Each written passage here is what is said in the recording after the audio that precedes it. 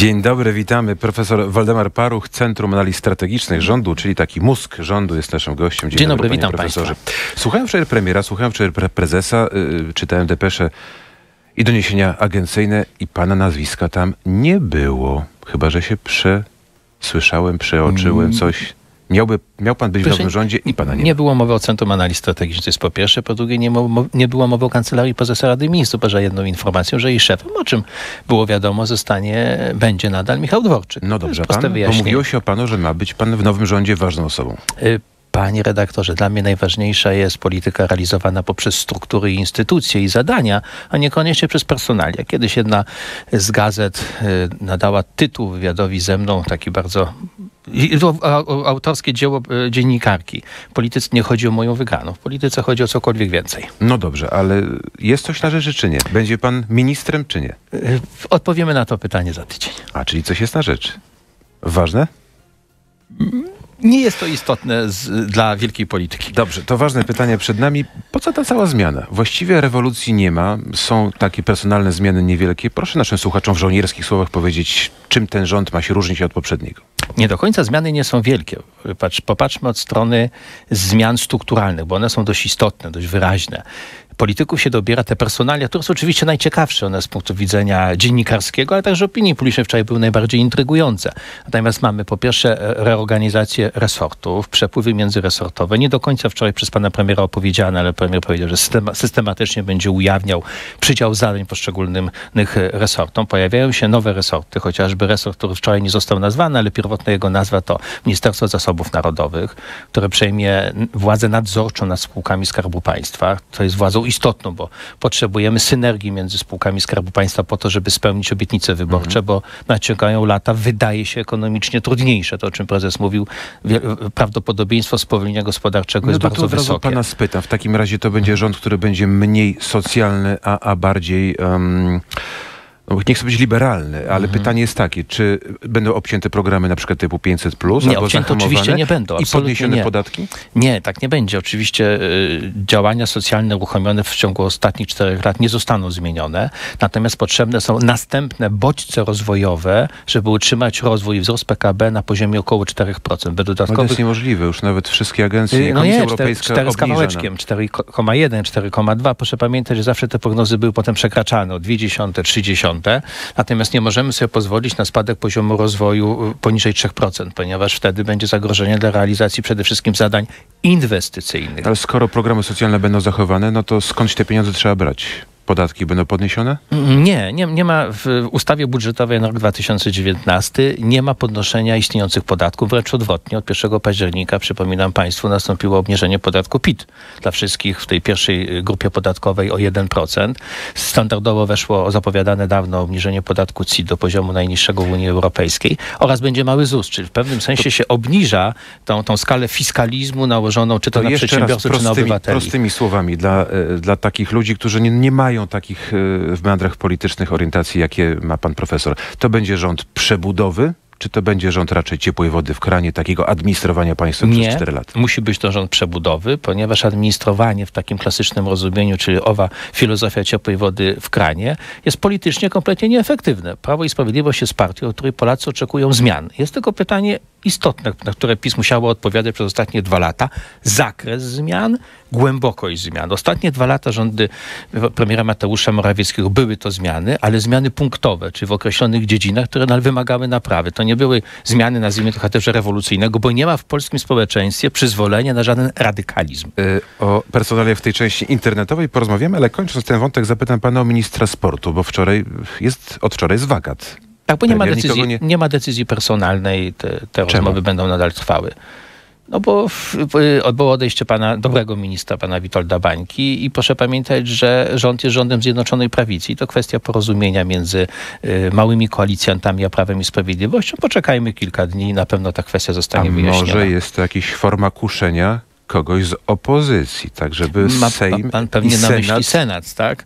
Nie jest to wykluczone. Serio? Nie jest to wykluczone. PiS Czy... będzie poszukiwało rozwiązania w Senacie, bo mamy pełną Ale biorąc przedstawiciela opozycji do Ministerstwa Sportu?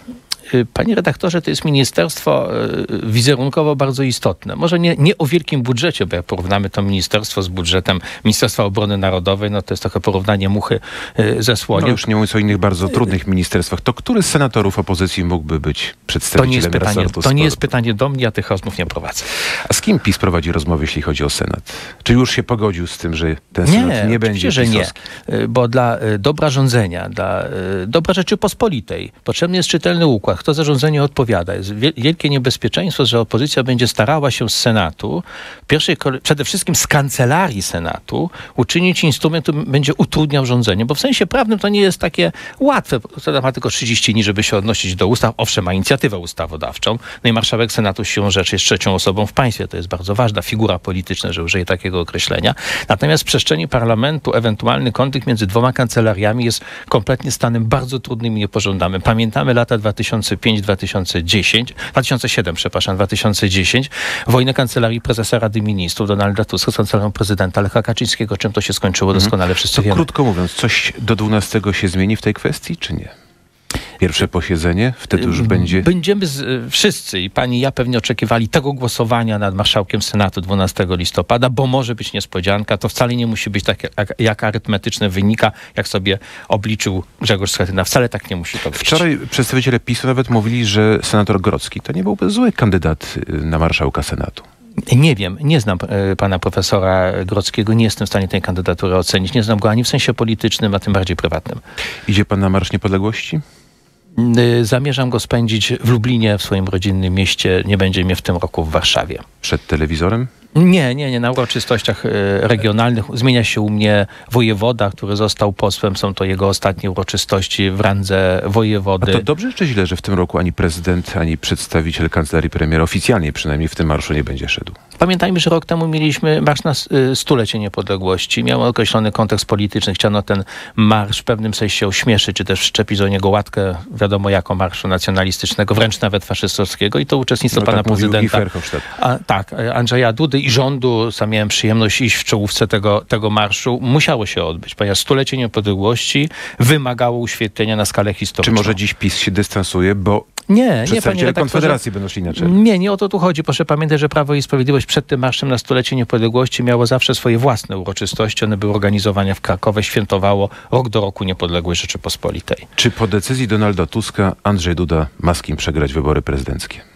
Andrzej Duda ma w ogóle z kim przegrać wybory prezydenta. Te wybory nie są rozstrzygnięte. Nie zgadzam się z tymi analitykami, którzy mówią, że to się rozstrzygną w pierwszej turze. Rozstrzygnięcie w pierwszej turze byłoby możliwe pod jednym warunkiem, że opozycja wystawi jednego kandydata. No, to czyli jest że chyba pójdzie nierealne. ścieżką y, i nierealne i nieefektywne, bo pójdzie wtedy ścieżką koalicji europejskiej. Wiemy, czym to się dla opozycji kończy. Kończy się przegraną z Prawem i Sprawiedliwością. Z bardzo prostego powodu. Dla takiej polityki, jaką realizuje Platforma Obywatelska od roku 2005, 15, przepraszam, mamy ponad 70% dezaprobatę. Polacy nie chcą polityki polegającej na przemyśle pogardy, awanturach, totalnej opozycyjności. To może tak zwany kandydat obywatelski może odebrać Andrzejowi Dudzie drugą kadencję. Mówi się o profesorach Rzeplińskim, o profesorze Matczaku, o profesorze Bodnarze. Wchodzi w grę też Jerzy Owsiak, a nawet Szymon Hołownia. Kontekście tych postaci, które pan wymienił, jest to bardzo mało prawdopodobne. Kandydat obywatelski ma sens wtedy i tylko i wyłącznie, kiedy będzie kandydatem około 10% wyborców antysystemowych. Czy profesor Rzepliński może być kandydatem wyborców antysystemowych? A Nieprawdopodobne. Jerzy Owsiak? Też absolutnie nie, ponieważ jest ideologicznie określony. Siła Pawła Kukiza polegała na tym, że on się pojawiał w przestrzeni, publicznej, tej politycznej, z, ze sceny zszedł powiedzmy, ale był rozpoznawalny. Nasze pokolenie doskonale, doskonale identyfikowało Pawła Kukiza, a tym bardziej młodsze pokolenie. On był politycznie człowiekiem nowym, ale yy, nie był zgrany ideologicznie. A Szymon. Hołownia? To pytanie. Zdecydowanie nie. Jest niewybieralny na urząd prezydenta. A dlaczego? Odpowiedź już w internecie na rmf24.pl słuchaczom radiowym. Bardzo dziękujemy. Profesor Dziękuję Waldemar bardzo. Paruch i przenosimy się do rmf24.pl. Czekamy. Panie profesorze, to skąd taki pomysł z Szymonem Hołownią? To jest pomysł realny, czy to jest coś, co, co wymyślił internet i tym się od kilku dni ludzie w internecie żywią, karmią i pasjonują? Jeśli to się pojawiło w internecie, to proszę pamiętać, że internet jest najmniej demokratycznym medium. To nie jest prawda, jak to się powiela powszechnie, że każdy w internecie znaczy tyle samo. Nie, w internecie znaczą y, więcej ci, którzy mają więcej pieniędzy. Chodzi o to, jakich mają specjalistów, jak się pozycjonują w internecie, to nie jest tak. No ponoć ktoś wyłożył duże pieniądze na badanie dotyczące Szymona Hołowni. Ma szansę mało prawdopodobne, żeby z tych badań to wynikało. Natomiast jest to jakiś projekt polityczny, bo polityka to często jest realizowanie jakichś projektów. Mieliśmy projekt, projekt Małgorzata Kidawa-Błońska, kandydatka na premiera. Wyraźnie wymyślony. To wynikało z analiz. Nie wątpię w to. to. Ta firma, która się, ta tajemnicza firma, która się ponoć pojawiła wokół przewodniczącego Grzegorza Schetyny miała sugerować takie zmiany. Efekt był znikomy takich zmian, ponieważ zmiany i takie projekty można realizować tylko wtedy, kiedy jest oczekiwanie społeczne na tego typu nowego kandydata. Co nowego wniesie do polskiej polityki pan Hołownia? Niewiele. Nie jest to postać, która by y, ożywiła tych wszystkich, którzy odcinają się od rywalizacji PO-PS, PO-PiS. Ale jest popularny, jest rozpoznawalny, y, jest związany z kościołem, jest młody, Czyli dla każdego coś Pani, się znajdzie. Panie redaktorze, nie zgadzam się z pierwszym przewodnikiem. Nie jest rozpoznawalny. Rozpoznawalność się uzyskuje wtedy, kiedy przeprowadza, przeprowadzamy badania, losowo wybieramy tysiąc osób i pokazujemy zdjęcie i się pytamy, czy państwo wiecie, kim jest ta osoba na tym zdjęciu. Jestem przekonany, że z poziomu tysiąca pytanych jedna, dwie osoby hmm. tylko wskaże, kim to jest ten pan na zdjęciu. Czy on może komukolwiek zagrozić, odebrać głos, jeśli tak to Tak, oczywiście, ponieważ moim zdaniem ta kandydatura i inne, które się pojawiają, jest to przetarg, który ogłoszono w ramach stronnictw opozycyjnych.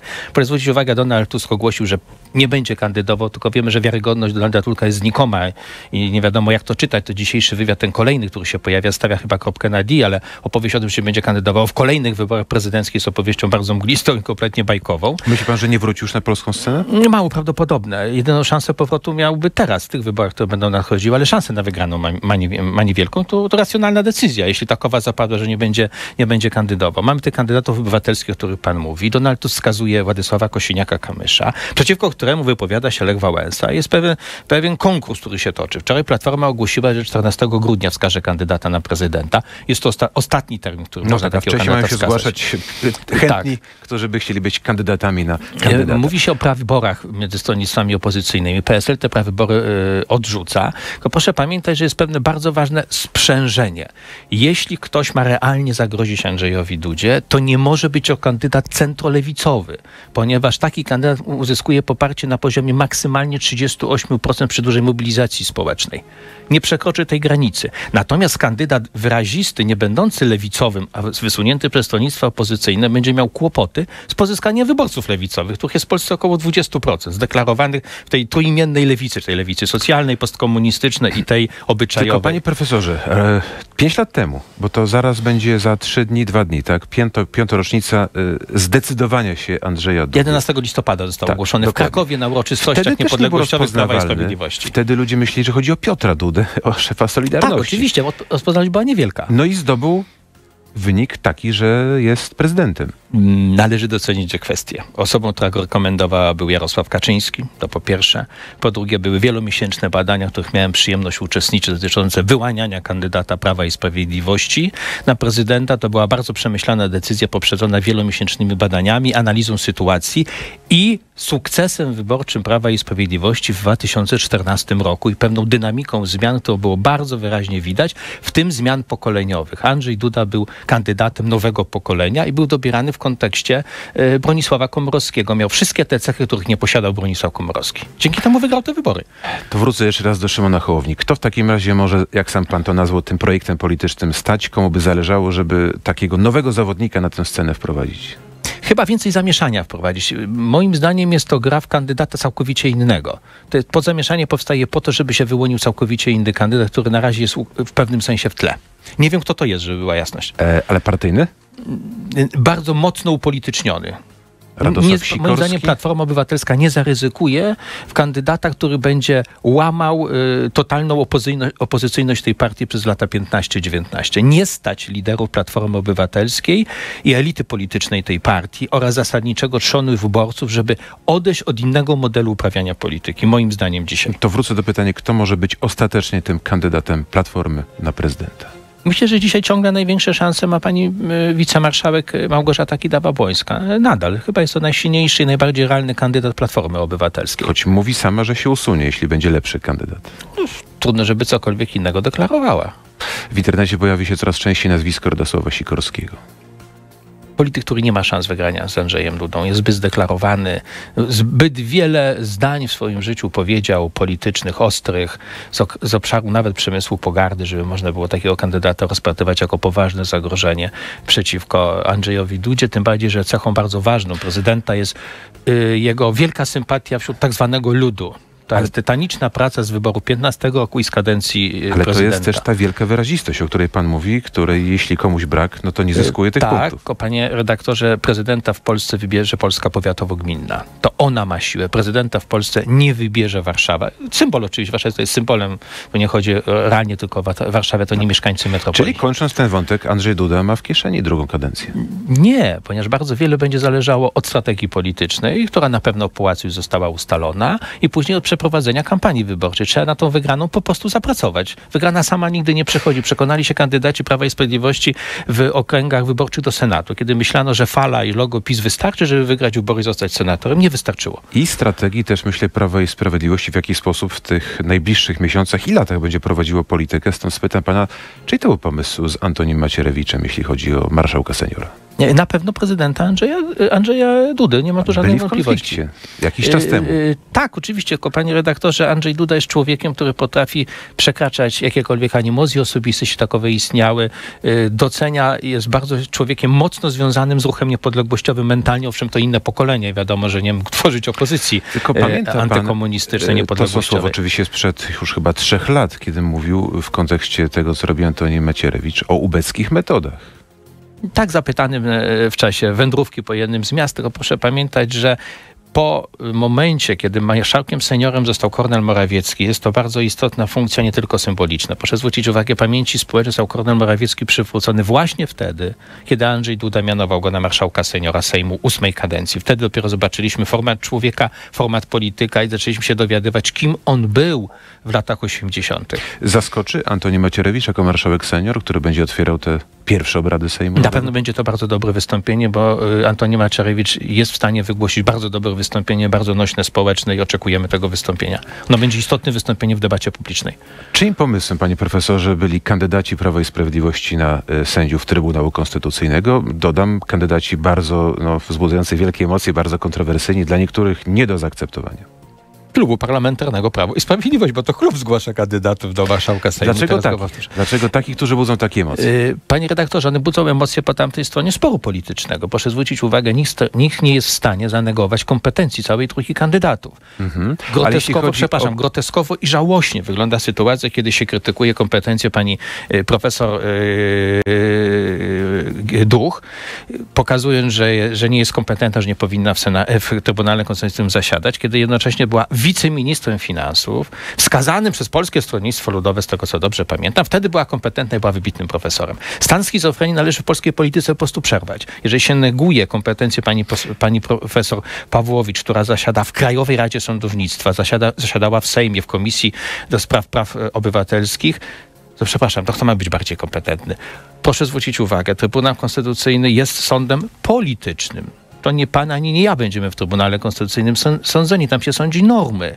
I niestety decyzje będą zawsze polityczne. Przypomnijmy sobie decyzję polityczną Trybunału Konstytucyjnego w sprawie uznania za legalne likwidację przez Platformę Obywatelską bardzo wielu miliardów z OFE. Tylko pan wie, że największe emocje i największe kontrowersje budzi poseł Piotrowicz. Stąd moje pytanie, czy, czy PiS nie miał nikogo innego, kto mógłby zastąpić akurat tego polityka w tym miejscu? Y, Panie redaktorze, y, pan Piotrowicz był jest twarzą reformy przeprowadzonej przez 4 lata wymiaru sprawiedliwości. Owszem, bardzo kontrowersyjnej, ale ta reforma nie mogła być kontrowersyjna, ponieważ była pewnym czynnikiem polaryzującym scenę polityczną. Ale jest i przeszłość, której opozycja też nie może Y, darować. tak, ale są przeszłość dwie- w stanie Y, wojennym. Tak, ale są dwie opowieści o tej przeszłości. Ostatnio rozmawiałem z jednym bardzo ważnych polityków y, Zjednoczonej Prawicy, który opisywał mi znaczenie pana Piotrowicza w obronie działaczy niepodległościowych wtedy na Podkarpaciu. Są dwie opowieści, proszę pamiętać, występowali świadkowie z imienia i z nazwiska, którzy mówili, że dzięki Piotrowiczowi, panu Piotrowiczowi nie zostali skazani na wiele lat więzienia. To jest spór o to, jaką rolę wtedy odgrywał. Okej. Daje większą wiarę tym, którzy mówią o pozytywnej roli pana Piotrowicza w A nie ma nikogo bardziej procesach. krystalicznego w tym obozie? Y, Panie redaktorze, y, przy tym sporze politycznym kogokolwiek by Prawo i Sprawiedliwość nie zgłosiło, to wtedy byłyby zarzuty, że nie jest rozpoznawalny politycznie. Zwrócić uwagę, gdy się taki by zarzut pojawił. Tu y, nie, była, nie, nie można było zgłosić wyrazistych kandydatów, którzy nie byliby oprotestowywani przed drugą stronę sto, sporu ile- politycznego. Ile prawdy, ile prawdy, panie profesorze, jest w tym, że jednak PiS będzie chciał wycofać kandydaturę posła Piotrowicza i zastąpić zupełnie inną, mówi się o senatorze Cichoniu? Yy, Nie wiem, to jest kwestia, czy te kandydatury ponowią, do, no- y, ponowi Klub Prawa i Sprawiedliwości, nowy klub, który będzie No organizowany. właśnie, bo się okazało, że w 11 nowym Sejmie listopada. trzeba przedstawić tę Yy, kandydaturę bo jeszcze po, raz. nie, po prostu trzeba powtórzyć, no ponieważ to Sejm tej kadencji A będzie ich pytanie, wybierał. czy będą to te same kandydatury, czy nie? Jest to kwestia uzgodnień w ramach Zjednoczonej Prawicy, bo jak wiemy, y, pan y, wicepremier Jarosław Gowin zgłosił zastrzeżenia. Y, Poczekajmy na efekty tych konsultacji. Nie ma co ukrywać. Będą dyskusje na pewno w ramach koalicji Zjednoczonej Prawicy. Jest to pytanie, na ile tam zostanie wypracowany kompromis, bo bardzo ma, mało prawdopodobny jest scenariusz, że kandydaty się, ci się pojawią w Sejmie i klub Prawa i Sprawiedliwości się roz, rozłamie w głosowaniu. Jeśli ja to dobrze też odczytałem słowa rzecznika prezydenta, to chyba i prezydent ma zastrzeżenia co do właśnie niektórych nazwisk. Pewnie chodzi właśnie o pana Piotrowicza. Y, Tak, tylko proszę pamiętać, że to wszystko działa, dzieje się w ramach reguł praworządności. To Sejm wybiera kandydatów na Trybunał Konstytucyjny. Oni są właściwie wybrani nie tak wadliwie jak w 2015 roku. To rola prezydenta jest tylko przyjąć yy, ślubowanie. Wyobraża pan sobie, że ktoś z członków klubu PiS mógłby zagłosować przeciw panu Piotrowiczowi Jeśli albo to- przeciw Krystynie Pawłowi? Jeśli dokonają się uzgodnienia polityczne, jest to bardzo mało prawdopodobne, ponieważ wtedy obowiązuje dyscyplina klubowa. To, to jest samobójstwo y, dla takiego polityka u progu kadencji y, parlamentu. Dużo się dzieje w polityce, dużo tematów, ale wróćmy do, do tego, co będzie się działo z rządem. Ja wrócę do tej wczorajszej mm, uroczystości wieczornej. Dlaczego, y, jeśli ja dobrze to odczytuję, było to w taki sposób skromny, delikatnie mówiąc, przeprowadzone, a to mógłby być show z wielkimi światłami, ze wszystkimi kandydatami, z premierem, który będzie brylował z mikrofonem, a było jak było, czyli troszeczkę tak, jakby się rząd chciał tego, nie wiem, wstydzić. Pewnie Może nie tak był jak pan- dumny ze wszystkiego. Pewnie tak, jak pan to opisał, byłoby to bardziej e, takie społecznie widowiskowe. Tylko proszę pamiętać, że chodziło też o czas. Nie można było tej konferencji zrobić później niż godzina 19.45 z okazji przekazów. Tu telewizje jako dyktują, dyktują warunki. A chodziło o to, żeby na ten przedłużony weekend, weekend świąteczny Polacy zostali z informacją, że będzie nowy rząd i z najważniejszymi kandydatami na stanowiska ministerialne. To był imperatyw, który zadecydował, że tę konferencję zorganizowano i że właśnie na Nowogrodzkiej. A to nie jest dowód na to, że troszkę gdzieś tam to wszystko było tak na ostatnią chwilę zrobione, że te uzgodnienia koalicyjne być może były nie do końca właśnie dograne i dlatego taki pośpiech i taki trochę, no nie chcę powiedzieć, że chaos, ale jednak no, no brak tego show, który przy takich uroczystościach mógłby być. Pewnym y, utrudnieniem, który losowo się pojawił, była śmierć ma y, mamy pana wicepremiera Jarosława Gowina, jednego z, z negocjatorów głównych w ramach koalicji Zjednoczona Prawica i te negocjacje będą dalej doprecyzowane. Proszę pamiętać, że kluczem jest podział zadań między resorty, a niekoniecznie nazwiska, nazwiska ministrów. Ale nazwiska też są ważne. Zacznę od chyba osoby, która będzie bardzo ważną osobą w tym nowym rządzie, czyli Jacek Sasin będzie miał taki super resort. Po co to wszystko? PiS się przyznaje do tego błędu, że kiedyś sam zlikwidował Ministerstwo Skarbu? Czy to będzie takie ministerstwo, które będzie pilnowało, e, żeby nikt nie urósł ponad miarę, jeśli chodzi o tych trzech wszystkich koalicjantów? W 2014 roku, jak pisaliśmy program na wybory 15 roku, przewidywaliśmy zasadniczą zmianę w zarządzaniu spółkami Skarbu Państwa. Y, Zostało to zrealizowane w pewnym sensie do połowy, ponieważ podzielono faktycznie spółki Skarbu Państwa po likwidacji tegoż resortu, kiedy ministrem tym ostatni był pan Dawid Jackiewicz, natomiast nie zamknięto procesu budowy holdingu, czyli, te, czyli takiej struktury, która by niejako koordynowała czy nadzorowała zarządzanie tymi spółkami. Chodziło w pierwszej kolejności o wyprowadzenie z tych spółek z zapaści zarządczej. Tu najlepszym przykładem był LOT. Trzeba było ratować niektóre spółki, ponieważ tamta strona zamierzała je albo świadomie, albo poprzez swoją nieudolność po prostu zrujnować. No, LOT jest tutaj doskonałym y, przykładem. Teraz trzeba dokończyć tej reformy. Trzeba na nowo spiąć zarządzanie nad tymi spółkami jest testowany teraz ten pomysł na Ministerstwo tak zwanych zasobów narodowych, którego kompetencje będą trochę inne niż tradycyjnego Ministerstwa Skarbu, ponieważ w tradycji III Rzeczypospolitej Ministerstwo Skarbu i ministrowie zajmowali się przygotowywaniem spółek Skarbu Państwa do ich sprzedaży. Prawo i Sprawiedliwość fundamentalnie tego procesu nie prowadzi. Tu celem jest porządkowanie sytuacji w spółkach Skarbu Państwa, podnoszenie zdolności zarządczej w, w tych spółkach i profesjonalizacji tych spółek. To bo one takie- dostarczają pieniądze do budżetu. właśnie, takie rozwiązanie na czas spowolnienia, czy może nawet Też kryzysu? oczywiście. Zdecydowanie. I teraz proszę pamiętać, że my staramy się powoli, krok po kroku budować silnych graczy, przynajmniej na skalę środkowoeuropejską. Orlen przejmujący Lotos jest takim pierwszym z takich procesów, bynajmniej nie jedynym. Proszę sobie przypomnieć repolonizację banków, jak się umocniła grupa PZU przejmując bank PKO SA. Ale nie wszystkie zasoby, bo chyba takie będzie na razie z tego, co słyszymy, nazwa tego resortu, zasoby naturalne będą podlegały Narodowe, właśnie panu, narodowe. E, panu Sasinowi. Chyba nie wszystkie z tego, co pan premier wczoraj powiedział, lasy państwowe, kopaliny zostaną wyłączone w gestię nowego y, ministra, którym prawdopodobnie będzie pan Michał Woś. Skoro mówi się o panu, że jest mózgiem rządu, to były pana propozycje tego typu rozwiązania? Nie, to są decyzje pana premiera oczywiście i No, ale koalicji rozumiem, że pan politycznej. też gdzieś tam doradzał, Są, tak, żeby- y, tak, ale oczywiście w swoim y, zakresie transferu wiedzy do polityki. Decyzje podejmują politycy i to liderzy stronnic koalicyjnych w rozmowach politycznych jednoznacznie. MSZ podzielony na pół. Krytyka płynie zarówno ze strony byłego, dawnego szefa MSZ-u Radosława Sikorskiego, jak i, uwaga, byłego, ale związanego z PiSem, czyli pana Waszczykowskiego, dziś europosła. Obaj mówią, że to jest osłabienie MSZ-u, obaj sobie kpią, że teraz nie wiadomo, czy trzeba będzie budować podwójne ambasady, przedstawicielstwa, no i który minister będzie ważniejszy. Kpienie tu nie ma sensu, to po pierwsze. Ja rozumiem e, uwrażliwienie wymienionych przez pana polityków, bo jak się było ministrem jakiegoś resortu, to ma się pomysł na funkcjonowanie tego resortu i się uważa, że każdy inny alternatywny jest błędnym pomysłem. Proszę pamiętać, że taki, taka struktura resortowa już istniała w III Rzeczypospolitej na etapie, kiedy Polska starała się o wejście do Unii No, był, Europejskiej. był urząd tak, ale no, siłą rzeczą ta został zlikwidowany, zmiana- bo weszliśmy. Ta zmiana formalizuje pewien stan, który już istnieje, odkąd premierem został e, Mateusz Morawiecki, ponieważ realnie politykę w Unii Europejskiej prowadził w imieniu rządu pan premier. Nie minister spraw zagranicznych. I tu bardzo ważną rolę odgrywał pan e, Konrad e, Szymański, który do tego momentu był członkiem rządu. To nie jest tak, że Konrad Szymański nie był członkiem rządu. Teraz tylko zostanie podniesiony do poziomu ministra konstytucyjnego. No pytanie, bo kto będzie czeka nas- ważniejszy? Panie redaktorze, bo czeka nas dyskusja o budżecie unijnym. Pamiętajmy, że teraz zadaniem premiera i wspomagającej go części Kancelarii Prezesa Rady Ministrów jest wygranie dyskusji budżetowej.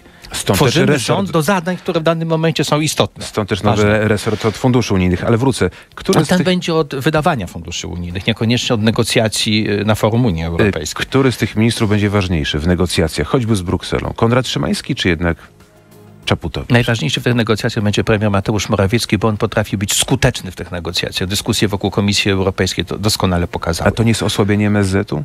jest prof- przeprofilowanie roli MSZ-u. Bo jeszcze istnieje, proszę Państwa, olbrzymia dyplomacja, stosunki dwustronne. Proszę pamiętać także, że jest pewna sfera wyłączona dla pana prezydenta. Tradycyjnie to prezydent Andrzej Duda zajmuje się relacjami wewnątrz Sojuszu Północnoatlantyckiego i y, priorytetowe dla niego są relacje ze Stanami Zjednoczonymi. Tutaj relacje osobiste są bardzo istotne. Michał Woś idzie bardzo mocno w górę, bardzo młody minister, jeden chyba z najmłodszych w ostatnich latach nawet ministrów. O czym to świadczy? O sile y, pana Zbigniewa Ziobry i Solidarnej Polski jako ważnego y, partnera czy koalicjanta w ramach Zjednoczonej Prawicy. Siła Michała Wosia jest pochodną siły i znaczenia y, pana Zbigniewa Ziobry. Choć I dobrego sam- wyniku wyborczego Choć oczywiście. sam Zbigniew Ziobro wicepremierem nie został. Z tego co wiem, to go to stanowisko nie interesowało. Naprawdę? Panie redaktorze, yy, najważniejszy jest silny resort i dobrze zarządzany oraz zdolność uczestniczenia w zadaniach międzyresortowych. Bo, proszę Państwa, my nie głupmy jednej rzeczy. Żeby rząd mógł realizować swoje zadania w tym czteroleciu, potrzebne są dwie kwestie, które ten rząd będzie musiał rozwiązać. Realizację zadań międzyresortowych. Bez poprawy jakości realizacji takich zadań będzie bardzo trudno utrzymać wysokie wskaźniki oraz czeka nas przemyślenie struktury administracji publicznej. Bardzo istotne, bo tutaj są bardzo duże rezerwy. Polska potrzebuje nowej, nowej struktury administracyjnej. No to bardzo jeszcze istotne pytanie. Wracając do tego super resortu Jacka Sasina, czy Zbigniew Ziobro utrzyma stan posiadania w spółkach Skarbu Państwa? Jarosław Gowin też utrzyma jako ci współkoalicjanci, czy nie? To, są, to będą decyzje pana wicepremiera Jacka Sasina A, jako jak władzy nadzorczej oraz rad nadzorczych poszczególnych spółek. Proszę pamiętać, że większość tych spółek są to spółki giełdowe. Tam nie można eksperymentować, bo to ma konsekwencje dla gospodarki To dla dlaczego finansów. już się pojawiły spekulacje, że może szef, y, prezes PKO BP się pożegnać z fotelem? Zawsze jako- będą spekulacje. jako bliski zawsze, znajomy premier. Zawsze jak się zmieniają ministrowie nadzorujący jakąś dziedzinę życia, to jest przekonanie, że będą wprowadzali ludzi związanych z, danym, z daną osobą. Oczywiście są naturalne spekulacje, wcale one mnie nie zaskakują. Z tego co pamiętam, to pan Zbigniew Jagieło był odwoływany już wielokrotnie. Dziennikarze spekulowali. Spekulowano najpierw w 15 roku, że zostanie odwołany. Także te spekulacje co jakiś czas pojawiają. Skoro- Nie, nie przywiązywałbym się do tych spekulacji. Skoro mówimy o tej równowadze między, między poszczególnymi e, elementami tego łańcucha koalicyjnego, Kto bardziej zyskał w tym nowym rządzie? Zbigniew Ziobro i jego partia Solidarna Polska, czy Jarosław Gowin i Porozumienie? Paradoksalnie stan posiadania został względnie utrzymany. Owszem, wzmocnieniu uleg ulegnie pozycja pani minister Emilewicz, bo zakres zadań dla resortu rozwoju, prawdopodobnie się tak będzie ten resort nazywał, będzie większy, ponieważ proszę pamiętać, że odchodzi Jurek Kwieciński, bardzo silny polityk w Choć Radzie na własną Ministrów. prośbę, podobno. Tak, oczywiście, tak. Jest prawda. y, Jurek Kwieciński już powiedział, że jest po prostu zmęczony byciem, byciem ministrem, a to był bardzo ważny polityk i bardzo silny polityk. Bo kluczem także jest nie tylko, kto jest szefem resortu, tylko jaką ma pozycję polityczną. Był zmęczony też między innymi niskimi zarobkami. Nowy szef resortu finansów mówi, że ministrowie zarabiają za dużo. Nie znam tej wypowiedzi, nie jestem się w stanie do tego odnieść, natomiast dyskusja ponadpolityczna nas czeka, ponieważ na pewno za, za mało zarabiają wiceministrowie, nie ma tu żadnych wątpliwości. A resorty stoją bardzo często na wiceministrach, wiem to z praktyki Stałego Komitetu Rady Ministrów. Silne są resorty, tak jak mądrzy są wiceministrowie w tych resortach. Panie profesorze, jeszcze jedno pytanie ważne, myślę. Co z umową koalicyjną? Bo mamy nowy rząd, mamy rozdział stanowisk, ale umowy chyba nie ma. Ma być do, z tego co wiem, do zatwierdzenia rządu. No do expose. Czyli No proszę pamiętać, teraz czeka pana premiera praca nad expose. To jest kluczowe wystąpienie. to jest, jeszcze o to zapytam, ale wrócę. Czyli jeśli nie ma umowy koalicyjnej, to być może ta układanka, o której teraz mówiliśmy w ciągu tych ostatnich minut, jeszcze ulegnie zmianie. Dopóki tej umowy nie ma. Oczywiście taki scenariusz jest możliwy. Czyli któryś z koalicjantów dostanie coś więcej, a któryś coś mniej? Myślę, że bardziej dotyczy zadań przypisanych resortom. To raczej nie, nie, nie, nie redukowałbym tego do personeliów. A jak pan sugeruje, kiedy będzie nowy rząd, już tak formalnie zatwierdzony? Pewnie gdzieś między 19 listopada, to moim zdaniem najwcześniejszy, a najpóźniejszy to jest tydzień później, bo trudno zwoływać Sejm, żeby zatwierdzał rząd w, w piątek. To proszę pamiętać, że chodzi o dyscyplinę pos- klubową, potrzebnych jest 231 posłów, którzy przyjadą, przybędą i zagłosują za rządem. Kiedy możemy się spodziewać expose? Myślę, że to 19 listopada, jak dziennikarze wczoraj spekulowali, to byłby taki termin najszybszy z możliwych. Pytanie jest, w jakim, w jakim zakresie pan premier jest już przygotowany do tego ważnego wystąpienia politycznego, bo z tego co wiem, ma być to eks- expose na 4 lata, nie tylko na jeden rok. To moje ostatnie pytanie. Takie kluczowe przesłanie z tego expose dla Polaków, jakie powinno być? Poczekajmy, nie odbierajmy panu premierowi. Yy, No ale pytam pan jako politologa, jako szefa Centrum Analiz Strategicznych, jako mózgu rządu, kogoś, kto, kto też Ramy- doradza i czuje. Ramy są wyraźnie określone w programie Prawa i Sprawiedliwości na 2019 rok. Ten program jest nie tylko ramowy, jest w niektórych dziedzinach bardzo szczegółowy i to będzie zobowiązanie dla szefów resortów bardzo istotne. Y, Nowi ministrowie be- bezwzględnie będą musieli się z tym programem nie tylko zapoznać, ale także zabrać się za jego realizację. Nie chodzi tylko o te pierwsze 100 dni, o, tych, o te fundamentalne obietnice złożone na konwencji w Lublinie. Ten program w części trzeciej, gdzie mamy takich siedem dziedzin życia społecznego, bo on nie jest budowany resortowo, żeby była jasność, on jest budowany międzyresortowo. Tam są bardzo konkretne obietnice, bardzo konkretne zapowiedzi działań, wręcz nawet ustaw, które będą przeprowadzane w tym czteroleciu. Nie ma oczywiście harmonogramu, no bo tego się nie określa, on zależy trochę od mocy politycznej, od sytuacji Ale dopytam a tak, wprost. i akceptacji społecznej oczywiście zmian. tak, czeka nas, czy powinno nas czekać takie szarpnięcie cuglami, o które kiedyś mówił, postulował Jan Rokita, choć było to No, dawno, sytuację dawno temu. komplikują wybory prezydenckie, bo y, kalkulacja prezydencka będzie musiała odgrywać istotną rolę. Prawo i Sprawiedliwość ma obowiązek polityczny pomóc Andrzejowi Dudzie w wygraniu tych wyborów. Czyli jeszcze przez pół roku będzie czas Trudno spokoju, przeprowadzać reformy będzie... ryzykowne, trudno je przeprowadzać. W ogóle zresztą główne reformy powinny się przeprowadzić przez analizę oczekiwań społecznych. W państwie demokratycznym nie można efektywnie rządzić wbrew oczekiwaniom społecznym. A potem szarpnięcie cuglami? Powinno się odbyć. Polacy będą oczekiwali na pewno y, dynamicznego rządzenia. Nie można będzie rządzić przez 4 lata, oceniając 8 lat rządu PO-PSL, bo to już się po prostu wyczerpało. Pytanie, Ten czy rozdział jest zamknięty. cztery, czy może przez dwa, tak jak niektórzy No, sugerują, Prawo i Sprawiedliwość udowodniło, że jest partią bardzo dynamiczną, a prezes Jarosław Kaczyński potrafi dobierać polityków do realizacji zadań, które są politycznie zmienne oczywiście, bo życie społeczne ma swoją dynamikę. Dynamikę Jarosław Kaczyński doskonale potrafi odczekiwać, odczytywać tę dynamikę i potrafi ją kreować. To jest wyjątkowa umiejętność pana prezesa. Profesor Waldemar Paruch, szef Centrum Analiz Strategicznych. Dziękuję, do panie widzenia państwu. profesorze. Do usłyszenia, dobrego dnia.